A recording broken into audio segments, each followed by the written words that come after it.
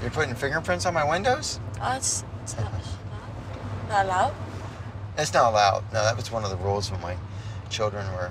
Really? They never touch, never touch the window because it's. So I'm not allowed to touch the window? You don't touch the window. You don't touch the window. You don't touch the window. And if you think that's awkward, wait until you see what's coming up. But before we dive into this crazy video, let's take a few steps back and understand some very important context. So this is Mark, he's 58 years old and he's from the US. When I get out of bed, the first thing I do is look in the mirror and I always say, You're a specimen. What did you say? You want to see that again? Okay, sure. You're a specimen. 27 years ago, I actually met my ex-wife and brought her here on a K-1 visa. She was Filipino from Cebu. She had four children. She changed radically. She no longer wanted to be a primary caregiver. She wanted her independence, and she wasn't happy. So we were separated, and I got left raising four children in diapers. I needed some time to um, sort things out. But I do feel sorry for this guy at this point. Despite his character, nobody deserves this. And to be honest, raising four kids on your own must really take it out on you, and I mean mentally. So, big respect to him for that. But nevertheless, he clearly has a type of woman that he goes for. So, let's find out more about her. I met Nikki first online through a free dating site. Nikki lives on the outskirts of Cebu City in the Philippines, which is where my ex-wife is from. Nikki is young. She is 19.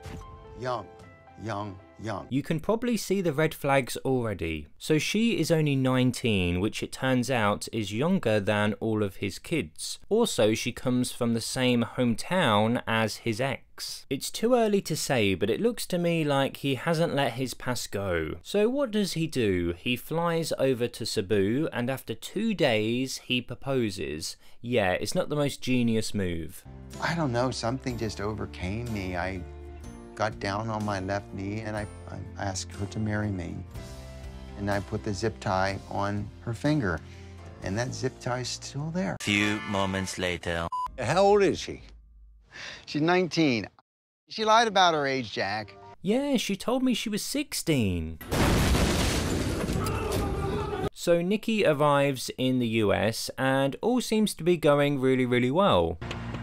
You're putting fingerprints on my windows? Oh, it's, it's not, not allowed? It's not allowed. No, that was one of the rules when my children were. Really? They never touch, never touch the window because it's. So I'm not allowed to touch the window? You don't touch the window. You don't touch the window. Because you have to clean them, man.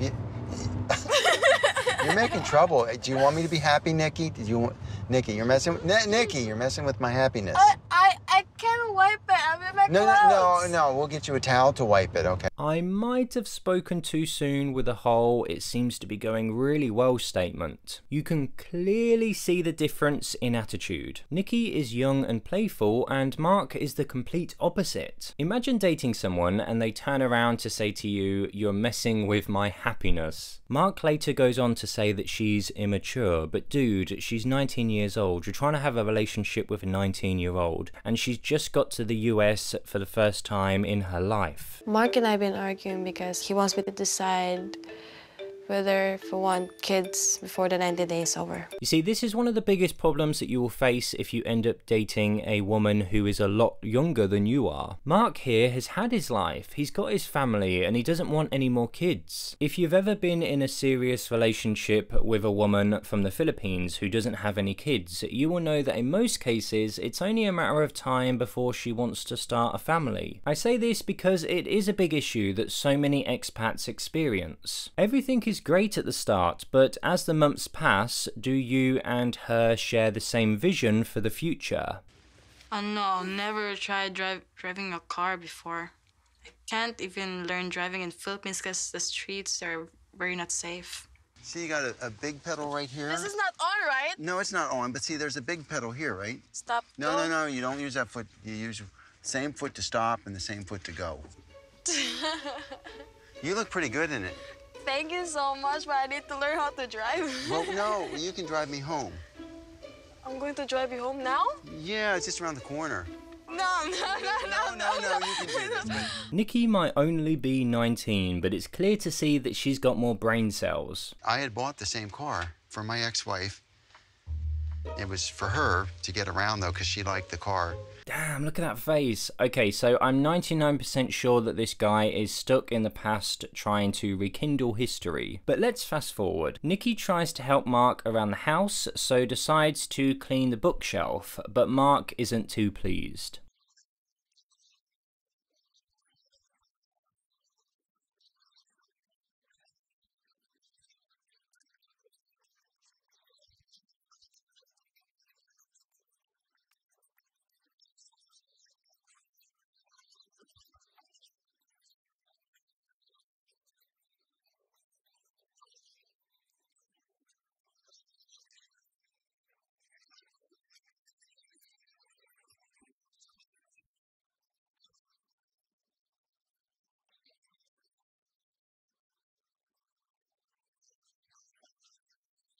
So, for the whole 90 days leading up to this wedding, their relationship is filled with highs and lows. But in the end, they finally got married on the beach. But what happened after the show is even more confusing. From looking through the internet, there are so many rumours about this couple. Nikki cannot be found online, which has led to a lot of speculation. There was an apparent lawsuit from the couple because Mark wasn't too happy of how their story was portrayed on the TLC show. There was an application for divorce, which was apparently declined. Mark's divorce claim was accusing Nikki of cheating on him. But according to a publication that Mark has allegedly spoke to, they are not divorced and they are not separated. But there are many good and bad stories floating around the internet, but not everybody is happy about men going to Southeast Asia for dating purposes. And so check out this video where I find out why so many American women are going crazy over men finding girlfriends and wives overseas.